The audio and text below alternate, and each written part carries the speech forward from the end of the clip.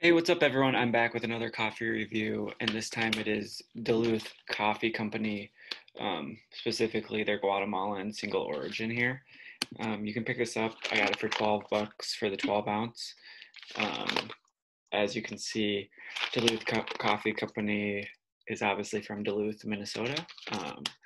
It was founded in 2012 by Eric Faust, who kind of just started roasting in his garage and selling out of his white Ford F 150 um, to local farmers markets and restaurants. But then it kind of kept growing and growing, and now it's gotten bigger. And I was able to pick this up at my local grocery store here in St. Paul, Minnesota. So it's definitely growing.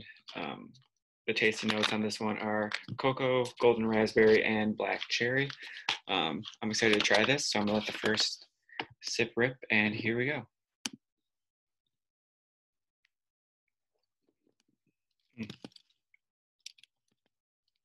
Definitely tastes like the black cherry, which is interesting. Um, I've never really tasted that in a coffee before. Uh, this one definitely tastes like that. It's really sweet, kind of a medium to full body, um, but there's a lot of chocolatey flavors and that black cherry. So I think it's like the cocoa and the black cherry, the sweetness and the chocolate all coming together to make a really good cup of coffee. Mm, as you can see, I keep going back for more, but I think this is one of the better ones I've tried. I'd probably give it a 7.9 out of 10. Cheers.